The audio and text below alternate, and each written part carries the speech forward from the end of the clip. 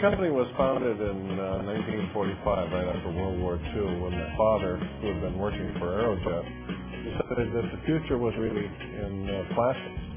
So he started his own company in a blended garage in Montebello, making consumer parts. And then he uh, was contacted by a salesman, cloth salesman. They said that Douglas Aircraft is looking for somebody to make 48-inch wide cargo liner. And my father said he could do it.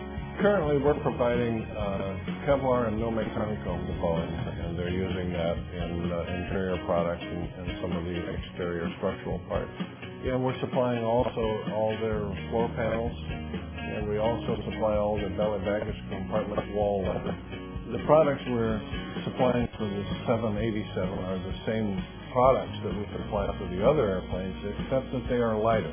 We continue to work with Boeing through our research and development department because in this in this day of high energy prices, we need to develop advanced composites that are more lightweight so we can make Boeing's planes more fuel efficient so that they operate at less cost. I like to think in our field we are on the leading edge of the technology in the world. We're one of the most advanced, if not the most advanced company in our area in the world.